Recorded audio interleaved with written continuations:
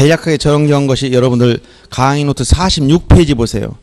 지적 공부 정리 절차라고 쓴 부분 있죠? 이 부분만 이해하면 됩니다. 자, 먼저 토지 이동에 대해서 일반적 이동 사유 여섯 가지, 특수한 이동 사유 오늘 세 가지 한 게 뭐예요? 특수한 이동 공부한 게 뭐예요? 오늘 세 개지 축척 변경, 도시개발 사업 등 실시형 특례, 등록사항 정정 이 세 가지 정리했지. 이걸 전부 다 뭐라고 한다고? 토지 이동. 이동 사유에 해당되는 거예요. 그러면 자 이해를 이, 이, 이 해하기 쉽게 여러분들 이해하기 쉽게 한번 봅니다. 여기 토지 한 필지 있다. 그럼 이 토지를 조사 청량 지적 공부에 등록했어. 제일 먼저 어떻게 했다? 등록했어 지적 공부에. 이 지적 공부에 등록할 때 토지 표시 사항을 중심으로 등록했다는 거예요. 토지 표시, 토지 표시. 필지 단위에서 1필지 단위로 토지 표시를 등록했어. 여기에는 에, 토지 표시 사항이 등록이 됐는데 이 지적 공부에 등록이 됐던 이 지적 공부에 등록이 됐던 토지 표시에 변화가 생긴다. 이걸 전부 다 묶어서 뭐라고? 토지 이동. 토지 이동이란 뭐라고 표현했지? 토지 표시를 새로이 정하거나 변경 말소하는 거. 그럼 예를 들어서 이게 지금 대전광역시 서구 둔산동에 있는 땅이다. 지목태 면적 500점. 이게 토지 표시야. 그 다음에 여기에 소유자가 누구냐? 자 이렇게 돼 있다면 소유자는 며- 변동이 없지만 토지 표시에 변화가 생길 수가 있어요. 어떻게? 이 토지를 잘랐다. 분할해서 자르면 면적이 줄어들지 경계나 면적이 바뀌어요. 그러면 지적 공부에 등록된 내용이 바뀌었으니까 이 지적 공부에 등록된 내용은 그냥 방치하면 안 되지 바꿔야 되는 거예요. 즉 사실관계 변동이 생겼으니까 지적 공부에 등록된 내용을 바꿔주는 겁니다. 그러면 이 토지 이동에 대해서 지금 이런 걸 뭐라고 토지 분할이라고 했잖아. 이동 신청 사유 중에서 일반적 이동 사유가 아까 몇 가지 여섯 가지 했다고 이건 지난번 했다 했지. 신규 등록, 등록 전환, 토지 분할, 그다음에 합병, 지목 변경, 등록 말소 같은 일반적 이동 사유가 있어요. 신청 의무와 연결된 거. 오늘 오늘 공부한 거 특수한 이동 사유 어떤 거? 축척 변경, 드- 등록상 정정, 도시개발 사업을 실시하는 특례 문제. 이거 정리해 줬죠. 이거 전부 다 뭐라고 한다? 토지동 사유 얘기 사유. 자, 그럼 토지동 신청은 누가 하느냐? 즉 분할 신청이나 이런 신청. 토지동 신청권자 있어요. 신청. 자, 분할 신청이나 지목 변경 신청, 그 다음에 합병 신청 누가 할까요? 누가 해야 돼? 소유자가 해야지. 지나가는 나그네가 심심하니까 대전에 왔길래 나 겸사겸사해서 이 분할 신청하고 갈게요. 서구청에 가서 저 토지 좀 분할해 주세요. 누구야? 지나가다가 심의서 들렸어. 이러면 해주나 안 해주나? 안 해주지. 그래서 토지동 신청권자 누구라고? 원칙적으로 누가 하는 거야? 소유자가 하는 거야. 소유자. 토지 소유자. 이 소유자라는 것은 등기부상 소유자로 등기된 자이거나 상속받은 사람, 법률 규정에 따라 취득한 사람 다 소유자야. 근데 소유자가 해야 될 등 이거 신청 안 할 때 예외적으로 뭐가 있냐면 대신해서 신청 대위 신청권자 있어. 대위 신청권자. 요 네 가지 기억해야 돼. 이게 뭐냐면 요 대위 신청권자는 여러분 책에서 어딜 잠깐 보시냐면 에 313페이지 보세요. 자, 313페이지 가면 토지동 신청권자 해서 책에 나오지. 맨 위에 보면 신청은 자, 토지 소유자가 하는 것이다 라고 나와요. 근데 그 밑에 3번에 가 보세요. 이, 이, 이, 또 3으로 대위에서 신청이 대위 맨 밑에 나왔죠? 대위 대위라는 것이 군대에서 밥풀떼기 세계 대위 그게 아니고 대신한다. 대신한다. 대위 대신한다. 그래서 소유자가 해야 할 등기를 이걸 저 토지동 신청 대신한 사람이 있는데 다음 페이지 넘어가 보면 네 가지가 나와요. 그래서 거기 1번 1호에 1호에 공공사업에 따라 공공용지에 대한 즉 지목이 8가지 지목이 나와요. 합병 의무가 있는 지목이 11가지 총 있다 했지? 합병 의무 11가지. 합병 의무가 뭐라고 했어 이거? 합병 의무가 있는 토지 지목. 도제, 하구유, 예? 하구유, 누구? 철수, 학장, 공채 이렇게 있잖아. 도제하구유, 철수, 학, 철수를 학장으로 공채했다. 자, 도로, 제방, 하천, 국어, 유지, 철도용지, 수도용지, 학교용지, 공장용지, 공원 채용용지. 이 11개 지목은 합병 의무가 있다 그랬지. 이 중에서 학교용지가 다 겹치는 거예요. 그래서 여기 첫째가 이런 공공용 토지 합병할 때 이거 공공용 토지 사업 시행자. 여기 그래서 이게 사업 시행자 문제인데 이거 네 가지 기억해야 돼. 첫째가 뭐냐? 국공사채로 놓은.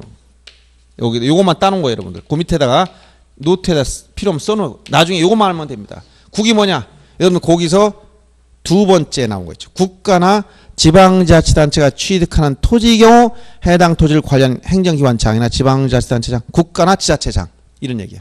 첫째 국 국가 또는 지방자치단체장. 두 번째가 이게 바로 거기 세 번째는 공동주택 부지 비출 공동주택 부지의 관리나 사업 시행자 공동주택 부지.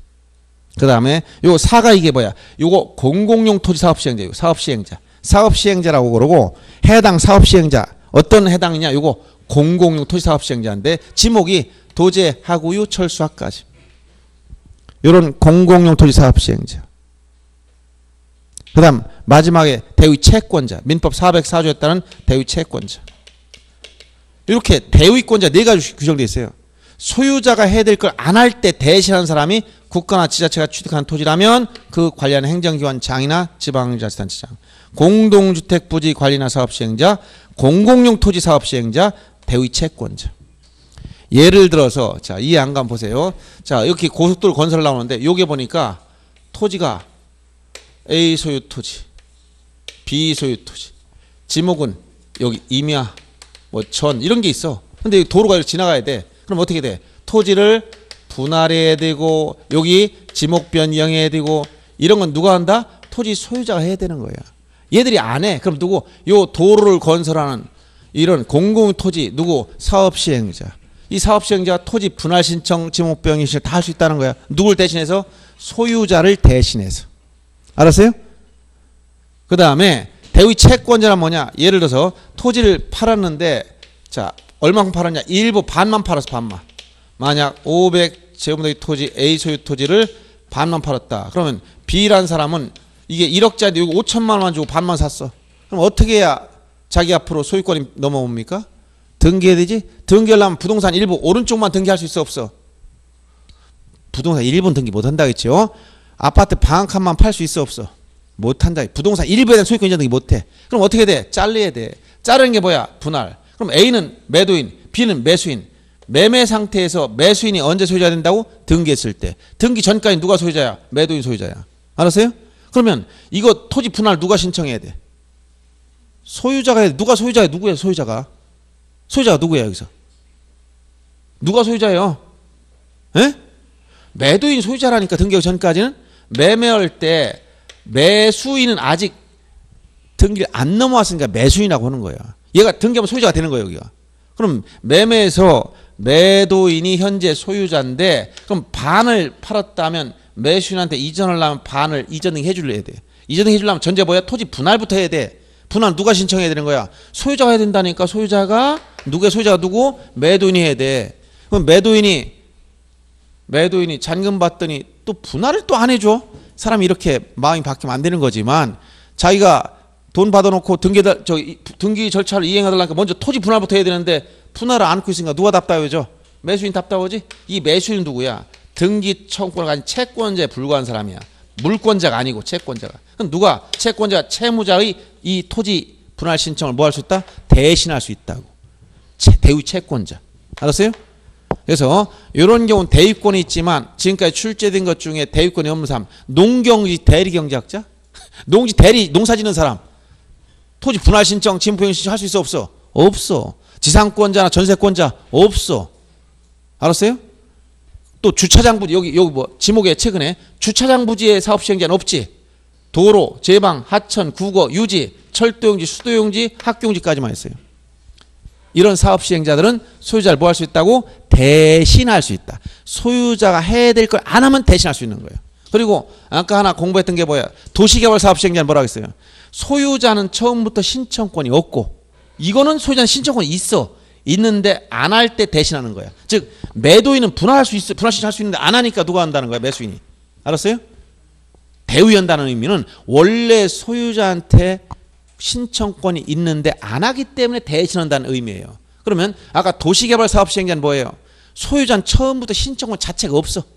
누구만 있어? 사업 시행자만 있는 거야. 그래서 거기에 크게 보면 네 가지 써놓은 겁니다. 그래서 이제 내용을 설명 들었으니까 강의 노트 46페이지에 보면 토지 이동 이동 신청권자 토지 소유자가 원칙이지만 대위 신청권자 국공사채 이게 뭐야? 국가나 지방자치단체. 이게 뭐야? 공동주택 부지. 이게 뭐야? 공공용 토지 사업 시행자. 이게 뭐야? 대의 채권자. 요거를 딱 핵심 알고 있으면 되는데 모르면 그 메모를 안에 써놨다가 기억을 하셔야 돼. 이게 다 이, 이해됐으면 더 이상 이거 지워버리고 남길 필요가 없어요. 원리만 알면 되니까. 알았어요? 그리고 밑에 무슨 사업 시행자 있다 별도로 도시개발 사업 등 사업 시행자. 거기다 도시개발 사업 등 사업 시행자는 이건 소유자한테 처음부터 신청을 자체가 없어요. 대위하는 게 아니고 사업 시행자 자신이 신청을 행사하는 거예요. 이렇게 정리해 주면 되고 자 이에 따라서 토지 이동이 생겼어요. 그러면 자 토지 분할했다 면적이 바뀌었잖아요. 그러면 그걸 그 내용대로 어떻게 해야 돼 이제 지적공부 정리해야 돼. 그러면 여기 토지 이동이 생겼으면 이 이동이 생겼으면 이에 따라 뭐 한다? 지적공부 정리한다. 이걸 줄여서 뭐라고 그래? 지적 정리. 지적 공부 정리하는 걸 뭐라고 한다고? 지적 정리. 그러면 지적 정리할 때는 첫째 토지 표시에 대해서 토지 표시에 대해 정리하려면 반드시 내부적으로 뭘 작성해야 되냐? 토지 이동 정리 결의서란 걸 작성해야 돼. 토지 이동 정리 결의서를 작성하고 정리해 주면 돼. 토지 이동 정리 결의서.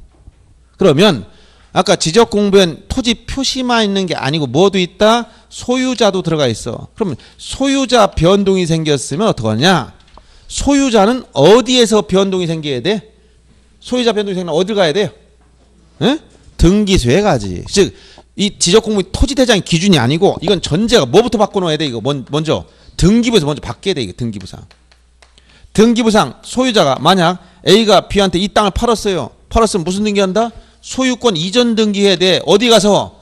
등기소에 가서. 그럼 등기소에 가서 오면 등기부상 소유자 바뀌지?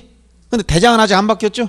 그러니까 대장 소관청에 지체 없이 통지가 오는 거예요. 그러면 대장 소관청에서 즉 시장 군수청장이 토지 대장상 소유자를 바꿔야 돼. 때 등기 맞춰서 바꿀 땐 어떻게 하느냐? 통지 따라 바꿀 땐 여긴 소유자 정리 결의서를 작성한다. 이걸 거꾸로 가면 안 돼요. 소유자 정리 결의서를 작성하고 이 내용에 의해서 지적 공부를 정리해 주는 거예요. 다시 한번 토지 표시에 대한 뭘 작성한다고? 토지 이동 정리 결의서. 소유자 정리할 때는 뭘 작성한다고? 소유자 정리 결의서를 작성한 다음에 지적 공부 정리한다. 문제는 요 지적 공부 정리하면 여기서 끝나는 게 아니라 자, 등기는 요거 소유자 이거 끝난 거예요. 왜? 먼저 1차적으로 등기부 바꿨고 2차적으로 지적 공부 정리해서 끝났지. 이원적 공시 방법에서. 알았어요? 근데 여러분들 이원적 공시 방법 모르면 항상 어디 보면 되냐면 이 강의 노트 맨 앞 페이지 보면 돼. 어디 2페이지 보면 그 그림 그려놓은 거죠. 2페이지. 이거 보시면 돼. 자, 소관청에만 지적에서 대장이 있고 등기소하면 등기부가 있다. 이 두 가지 장부는 항상 일치된다 했지? 근데 지금 권리관계 등기부 먼저 바꿨으니까 나중에 대장을 바꿔서 끝난 거야. 근데 토지 표시는 1차적으로 기준이 어디야? 대장이 기준입니다. 여기 정리하면 곧바로 어디가 안 맞아요? 자, 이원적 공시 방법에서 대장과 지금 어떻게 만들었지? 등기부로 이렇게 나눠져 있는데 이원적으로 공시한단 말이에요. 한 필지 토지에 대해서 양자 상호 일치해야 돼. 즉 토지 표시인 사실관계와 권리관계.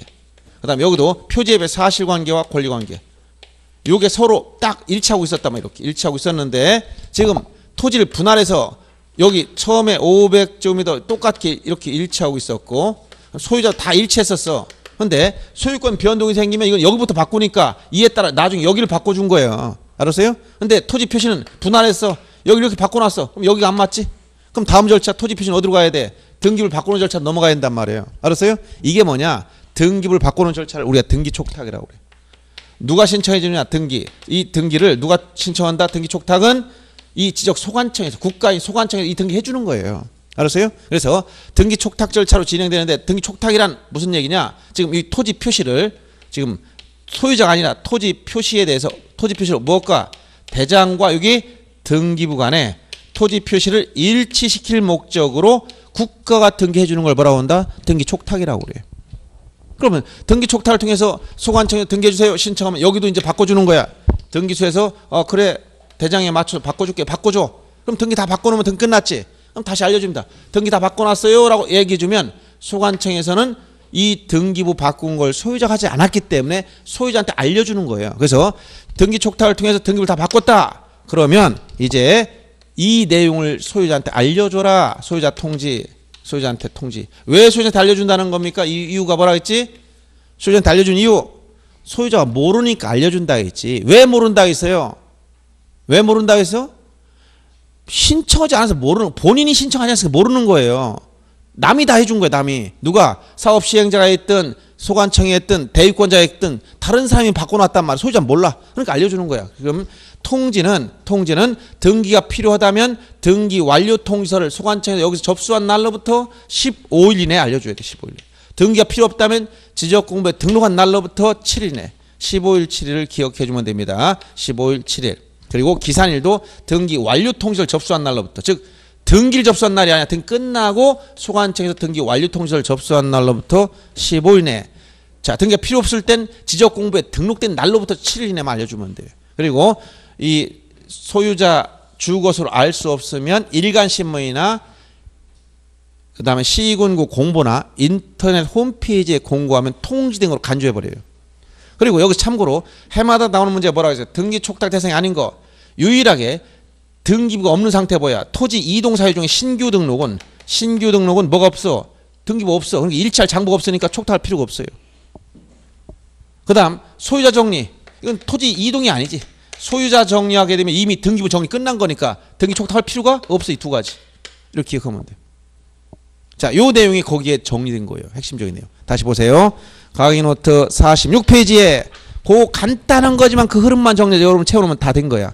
자, 거기 신청권자 세 번째 도시개발사업 등 사업 시행 체크하시고 지적 정리 토지 표시에 대해서 뭘 작성한다고?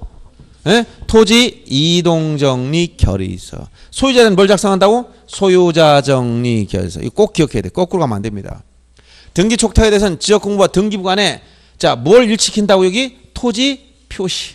토지 표시를 일치킬 목적으로 하는 거예요.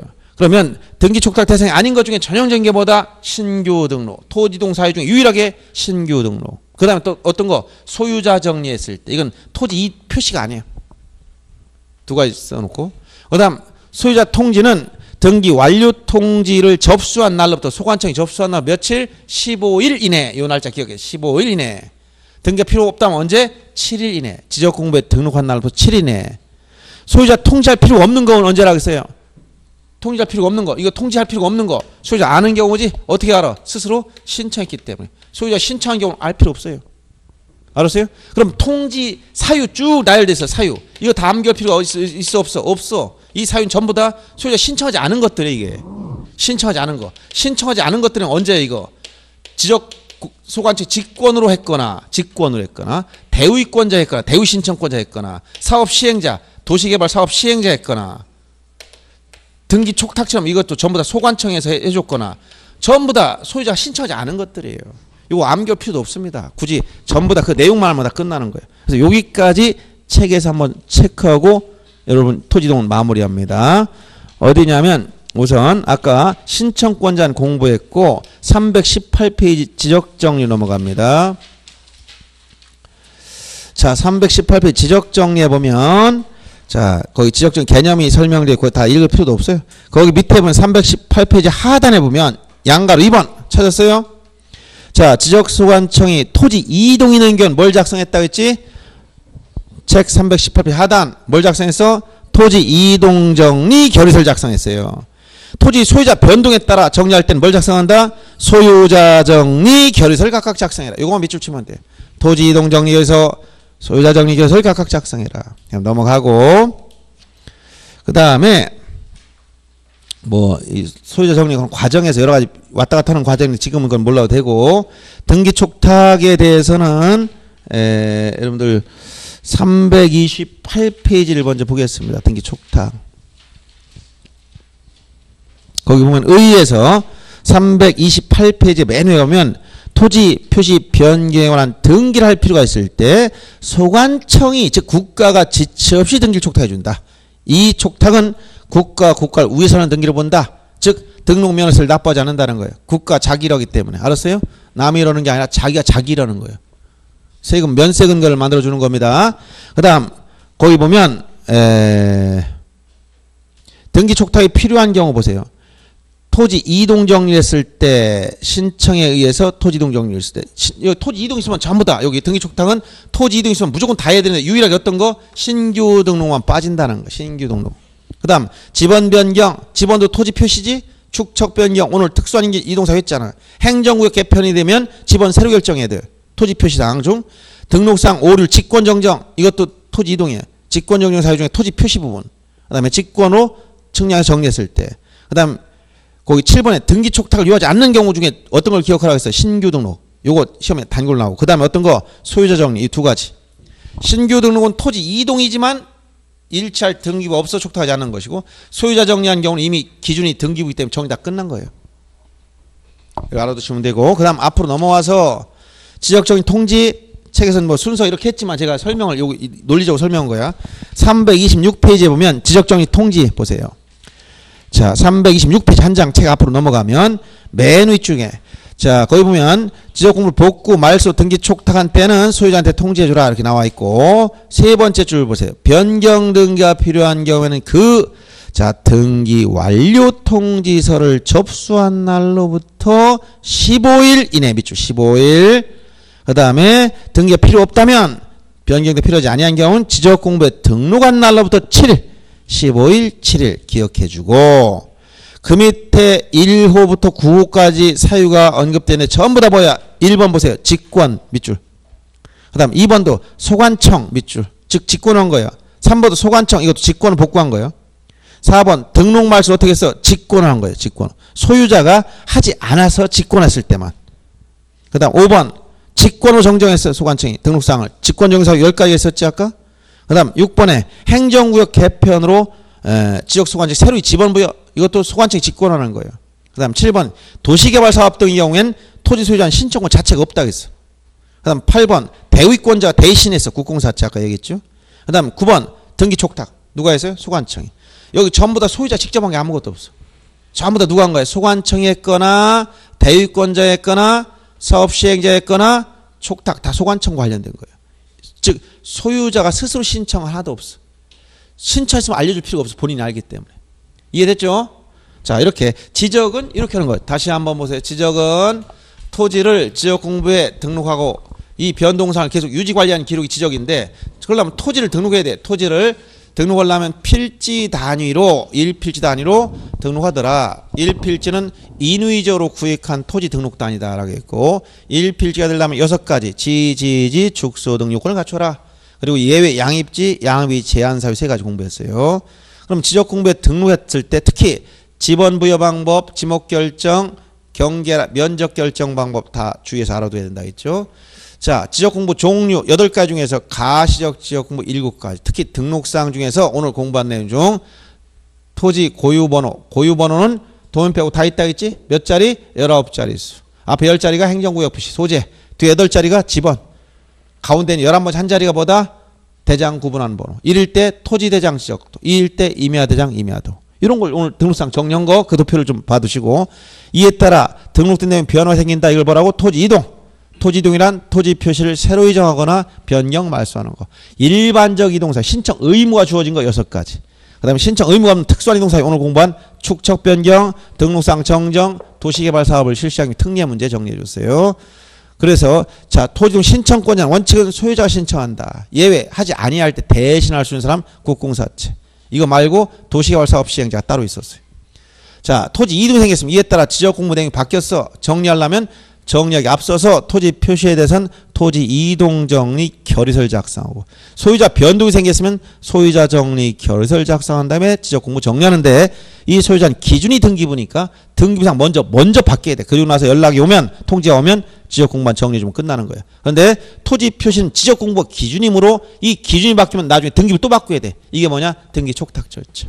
등기 촉탁은 토지 표시를 대장과 등기부원에 일치시켜서 국가 등기해 주는 거예요. 그래서 신규 등록은 등기부가 존재하지 않기 때문에 토지 이동이지만 등기 촉탁하지 않는 것이고 소유자 정리했을 때는 이미 등기부 정리가 끝난 거니까 할 필요가 없는 거예요.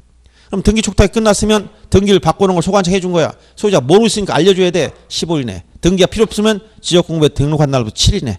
소유자를 알수 없다면 일간신문 전국에 어디서나 볼 수 있는 상태만 만들어주면 돼. 일간신문이나 시군구 공보 인터넷 홈페이지에 공고하면 통지 등으로 간주해버려요. 그리고 통지할 필요가 없는 건 스스로 신청했을 때 할 필요 없어. 알기 때문에. 통지 사유는 모르는 경우야. 왜? 본인이 신청하지 않아서 모르는 거야. 전부 다 직권했거나 대유권자였거나 사업 시행자가 있거나 지적 소관청 이런 식으로 소유자 스스로 안 한 경우들이에요. 아시겠어요? 이게 지적 전부 다입니다. 어렵지 않죠. 처음 공부해서. 처음 공부해서 무슨 말인지 모를 것 같아. 처음 오신 분 지난번에 한 거 동영상 한번 쫙 보, 1월 달에 한 거 이 지적 부분 꼭 보셔야 돼. 자 이렇게 하시고 자 오늘 이제 뒤에 측량 하려고 했는데 요게 여기 조금 여러분들 무리 오늘 예, 제가 볼 때 아, 축적 변경할 때 맛이 간 것 같아. 축적 변경 다시 한번 그 절차만 막 진도 막 빼는 게 중요한 게 아니라서 나중에 이제 지적 측량 적부심사 요 조금만 하고 등기로 넘어갈 텐데 에, 어딜 잠깐 보시냐면 에, 강의 노트 44페이지 그 흐름만 잠깐 오늘 한 거 복습하는 의미에서 강의 노트 44페이지 펴보세요. 자, 축척 변경하려면 절차에서 제일 먼저 토지 소유자 얼마 이상 동의를 받으라? 3분의 2 이상. 그 다음 축척 변경위원회 의결 거치고 시 도지사 또는 대도시장으로부터 승인을 받아라. 이게 사전 절차 승인이 떨어지면 시행 공고 며칠? 20일 이상 공고한 날로부터 며칠 이내? 30일 이내 경계점 표지 설치. 설치한 표지를 토대로 축척 변경 측량을 해서 지번별 면적 증감 조서 즉 지번별 조서를 작성하고 이 증감 면적에 대해서 돈으로 해결해 준다. 이걸 뭐로 청산 절차. 청산하려면 청산금을 산정해야 돼. 청산금은 증감 면적 곱하기 뭐라고? 토지 가격 단가. 가격은 기준인 시행 공고일. 조사는 소관청 결정 위원회에서 의결한 거 축적변경 위원회에서 청산금이 나오면 또 시행 그걸 알려줘야 돼 공고 시행 공고와 달리 며칠 15일 이상 공고한 날로부터 20일 이내 납부 유성 통지 불만 있는 자 1개월 이내 이의 신청. 어디다? 소관청에. 이의청 해결하고 나오면 어떻게 돼? 납부는 6개월 내, 지급도 6개월 내. 그 다음에 차익이 생기면 당해 지자체 수입 등 부담을 처리해 준다. 이게 청산 절차. 그럼 청산하지 않는 거 제일 많이 나온다. 예외 허전한 경우. 허용 오차범 이내이거나 전원이 청산 합의했을 때 다만 허용 오차범 이내일 때 일지라도 축척 변경 위원회에서 청산하겠다고 의결하면 다시 청산한다라고 했어요. 그래서 청산 절차 다 끝나면 지체 없이 확정 공고를 하고 공고한 날에 토지 이동하는 거로 본다. 그에 따라 지금 이렇게 토지도 생겼으니까 지적 정리하고 다음 절차 등기 축차 다 똑같단 말이야 이거는 다. 이 뒷절차는. 알았어요? 그래서 모든 절차 다 똑같아. 토지 분할했다 그럼 분할 신청, 이동 신청권자 소유자 원칙, 안 하면 대위권자 하는 경우 해당되고 이동 끝났으면 이에 따라 지적 공부 정리할 때 뭘 작성해? 토지 이동 정리 결의서. 그 다음에 이에 따라 뭐 해야 돼? 등기 촉탁. 등기 촉탁 한 다음에 어떻게? 소유자 통지 절차 이렇게 진행되는 거예요. 알았어요?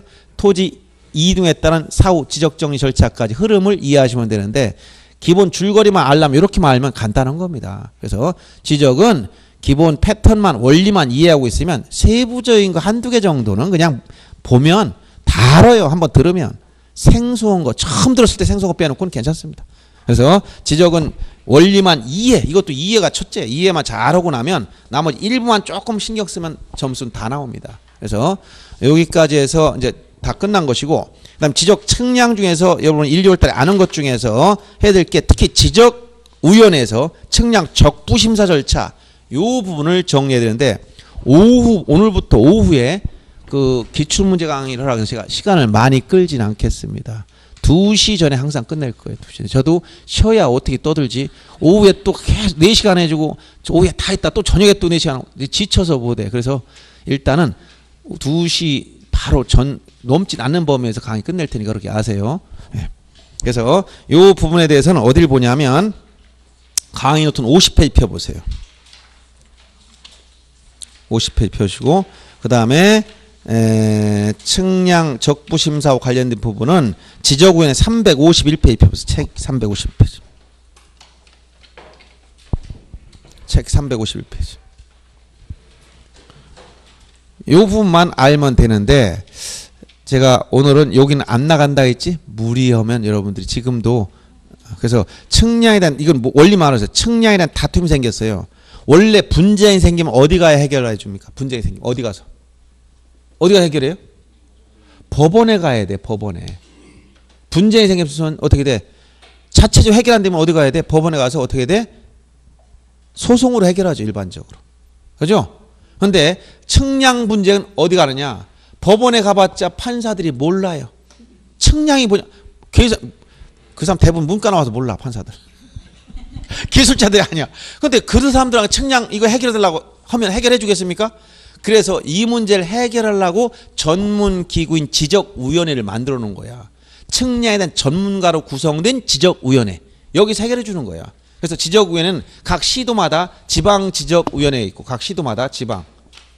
지방은 전국에 다 있는 거야. 각 시도마다 있는 거니까. 그리고 국토교통부에 중앙 지적위원회 있어요. 국토교통부 중앙. 그래서 이건 국토교통부에 있고 국토교통부에 각 시도마다 시도마다 지방 지적위원회가 있어서 여기서 1심 그다음에 여기서 재심, 2심 두 번에 걸쳐서 심판을 받을 수 있어요. 적부 심사를. 그래서 여기 국토교통부에 있는 중앙 지적위원회 재심사 각 시도마다 지방 지적위에서 적부 심사를 의결해 줘요. 그래서 두 번에 걸쳐 심판 받을 수 있는데 이 구조를 나중에 정리해 줄 겁니다. 그리고 조문을 특히 이해를 잘해야 되는데 이거는 조문이 계속 변동이 돼 있어요. 어떤 때는 예, 예를 들어서 지방지적위원회에 신청한다. 어떤 때는 각 시도에 신청한다. 또는 중앙지적위원회 또는 국토장관 이렇게 나가다. 어떤 때는 시도지사를 거쳐서 지방지적원에 간다. 이렇게 여러 번 왔다 갔다 바뀌었어. 기출문제 해설이 서로 다른 이유가 그래서 그런 거예요. 지금 현재는 적부심사는 시도지사를 거쳐서 지방지적원에 하도록 돼 있고 재심사는 국토교통부 장관을 거쳐서 중앙지적원에 하도록 조문이 그렇게 규정돼 있어요. 이 구조를 책을 보면은 조문을 보면 여러분 이해하기 어렵기 때문에 그 구조는 여러분들 책 강의 노트 51페이지에 그림을 그려놨어요. 그림만 머릿속에 딱 오른쪽에 다음에 설명 한 번 할 때 그 입력하면 필요 자동 생각납니다. 구조 어떻게 움직이는지 그 구조만 에, 설명을 딱 듣고 나면 다음부터는 더 이상 필요가 없어요. 그래서 요 측량 분쟁이 생겼을 때 적부 심사 절차를 통해서 해결하는데 그 절차가 어떻게 되는가 그것도 한번 설명해 줄 것입니다. 그래서 지적 측량 부분은 지난번에 했던 지적 측량 개념과 절차 중요한 겁니다. 그리고 이제 분쟁이 생겼을 때 해결한 절차 이것만 알면 다 끝나요. 그래서 측량에서 많이 안 나옵니다. 그래서 많이 나오면 두 문제인데 대부분 개념 절차에서 많이 나오고 적부 심사에서도 나올 때가 있어요. 그래서 요 적부 심사까지만 하면 되고 기타 뭐 측량 업자에 관련된 뭐 이런 것들은 시험 문제 안 나와요. 알았습니까? 그래서 시험에 나올 수 있는 부분만 딱 정리하고 끝내는 겁니다. 그래서 오늘은 여기까지만 하고 마무리 짓고 다음에 에, 요 부분 다 하고 나서 등기 파트로 넘어갈 거니까 그렇게 아시기 바랍니다. 아셨죠? 예. 지쳤어요? 자, 자, 수고하셨습니다. 여기서 끝내겠습니다. 예.